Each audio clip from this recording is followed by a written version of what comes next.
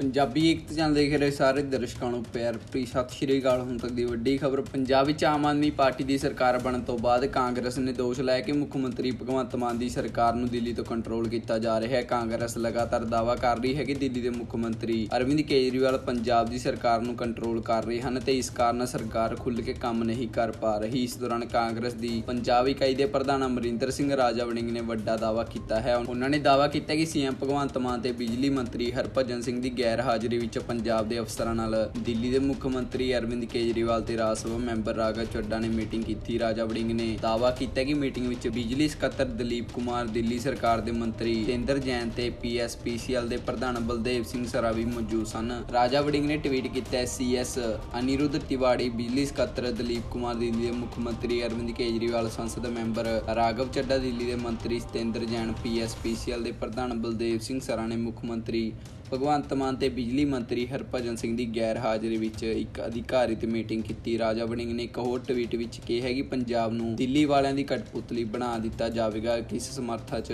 ਕਿਸ ਸਮਰਥਾ 'ਚ ਤੇ ਕਿਸ ਮੁੱਦੇ ਤੇ ਇਹ ਮੀਟਿੰਗ ਹੋਈ? ਸੀਐਮ ਸਾਹਿਬ ਇਸ ਨੂੰ ਜਨਤਕ ਕਰੋ। ਦੱਸ ਦੇ ਕਿ ਇਸ ਤੋਂ ਪਹਿਲਾਂ ਨਵਜੋਤ ਸਿੰਘ ਸਿੱਧੂ ਵੀ ਪੰਜਾਬ ਦੀ ਆਪ ਸਰਕਾਰ ਦੇ ਦਿੱਲੀ ਦਾ ਕੰਟਰੋਲ ਹੋਣ ਦੇ ਦੋਸ਼ ਲਗਾ ਚੁੱਕੇ ਹਨ। ਸਿੱਧੂ ਨੇ ਤਾਂ ਇੱਥੋਂ ਤੱਕ ਕਹਿ ਦਿੱਤਾ ਕਿ ਦਿੱਲੀ ਵਿੱਚ ਬੈਠੇ ਲੋਕ ਪੰਜਾਬ ਸਰਕਾਰ ਨੂੰ ਕੰਟਰੋਲ ਕਰ ਰਹੇ ਹਨ। ਉਹਨਾਂ ਨੇ ਕਿਹਾ ਸੀ ਕਿ ਦਿੱਲੀ ਦੇ ਰਿਮੋਟ ਕੰਟਰੋਲ ਲਈ ਨਵੀਆਂ ਬੈਟਰੀਆਂ ਲੱਭੀਆਂ ਗਈਆਂ ਹਨ। ਸੋ ਇਸ ਨੂੰ ਤੱਕ ਦੀ ਵੱਡੀ ਖਬਰ ਹੋਰ ਖਬਰਾਂ ਦੇਖਣ ਲਈ ਸਾਡੇ ਚੈਨਲ ਨਾਲ ਬਣੇ ਰਹੋ। ਧੰਨਵਾਦ।